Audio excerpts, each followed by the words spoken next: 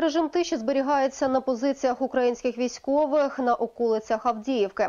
Іноді ворог стріляє зі стрілецької зброї, неприцільно провокує наших бійців. Ті у відповідь не стріляють.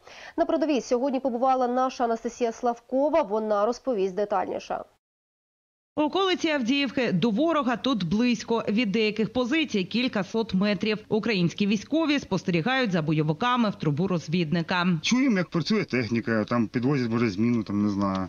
е, Матеріали, може, якісь підвозять. Ну, теж будуються, вони це час якоюсь скоростю використовують. Дмитро каже, на цей раз режим тиші зберігається, обстріли не ведуться. Зі спостережного пункту видно, що роблять окупанти. Понімаєш, що перемир'я вже давно ніхто не стріляв. От вже в нагло вилазять по пояс, там, чи може більше.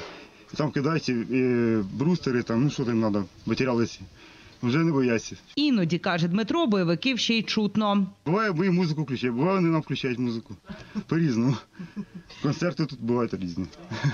А що вони вам кричать зазвичай? Ну, такі слова на камеру не говорять.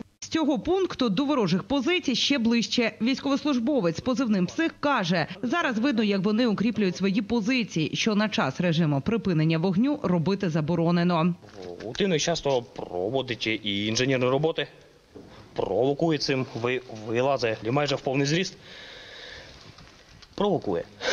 Е, Не, как, не, не соблюдает э, договоренности. И все.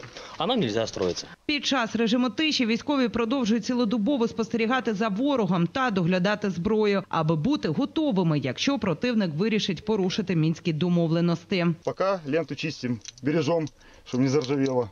Готовимся к следующему разу. Нагадаю, режим припинення вогню вступив в дію з опівночі 27 липня. Анастасія Славкова, Андрій Резніков. Новини на Суспільному.